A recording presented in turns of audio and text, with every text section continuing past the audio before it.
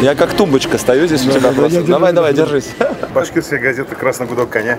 Ваше впечатление об игре? Ну, хорошая игра. Мне нравится ваша газета, я ее часто читаю. Спасибо большое, мы так и знали. Так, у меня двое, двое на меду. Холпа нужна. Есть у кого-нибудь ТПшка? Помощь, помощь. Где помощь? Ноль помощи. Вот. Новое видео на ЗТВ. Макс, Леваев, на ЗТВ новое видео.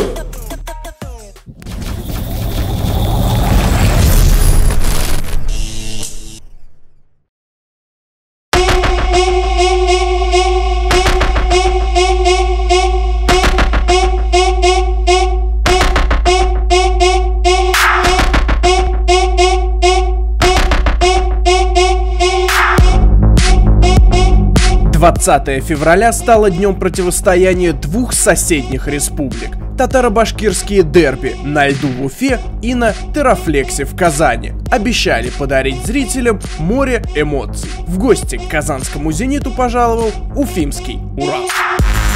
Нельзя не отметить тот факт, что уфимцы вместо 8 часов на дорогу потратили в три раза больше времени, испытав на себе все прелести русской зимы.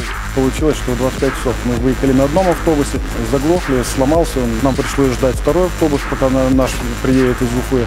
И когда он приехал, к этому моменту испортилась погода, закрыли дорогу, и нам пришлось остаться Челнах, поужинали, переночевали, позавтракали утром, сели спокойно в автобус и приехали, уже в 12 часов были здесь. 25 часов потратили на эту дорогу. То есть это, это, наверное, рекорд этой трассы.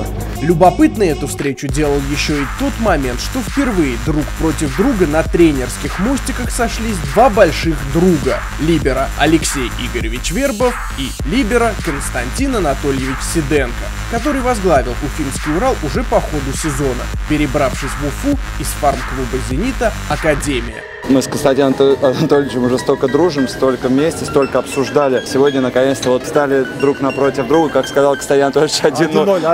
1-0 Лешка повел. Ты ведешь, да. 1-0, я ему сказал, что мы это откидываем, да, и начнем счет как-нибудь в другой раз. Обе команды вышли в сильнейших стартовых составах, только вот тренерский штаб казанцев Вербов Олегна решил видоизменить привычную схему.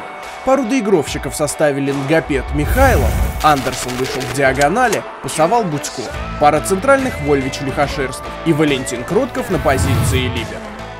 Эта схема действительно позволила казанцам сконцентрированно провести всю игру. Зенитовцы сократили количество ошибок до минимума, Ангапет и Кротков тащили мячи в защите.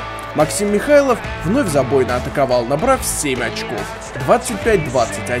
Небольшая тактика была с нашей стороны, да, чтобы заставить их как-то эмоционально быть в игре. А сегодня вот этими нововведениями, скажем так, они держали с первого до последнего мяча свою голову в режиме игры.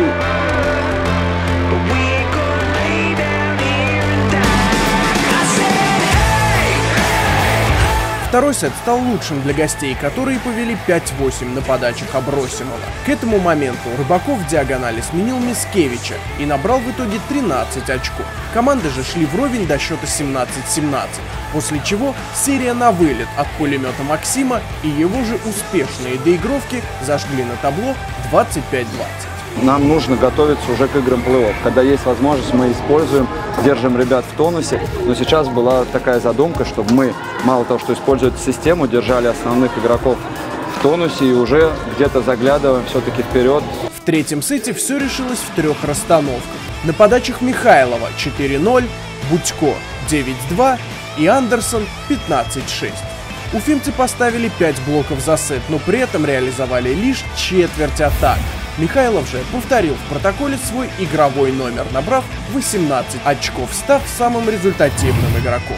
25-18 в четвертом сете и 3-0 в матче.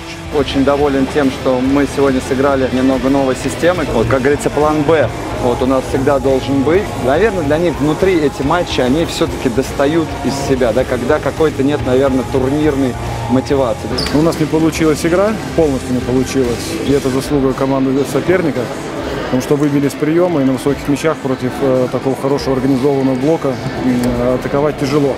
Плюс, когда был прием, э, Валя Кротков сегодня творил чудеса, не дал там, я думаю, мячу просто упасть. Первую партию вроде ничего сыграли, а потом просто стали.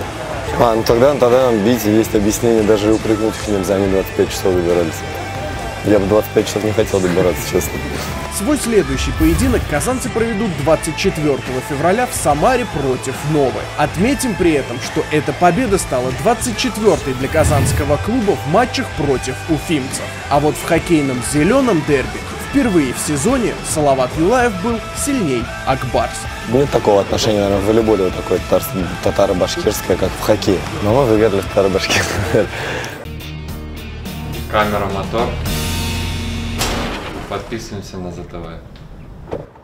Приехали. Дом вроде этот.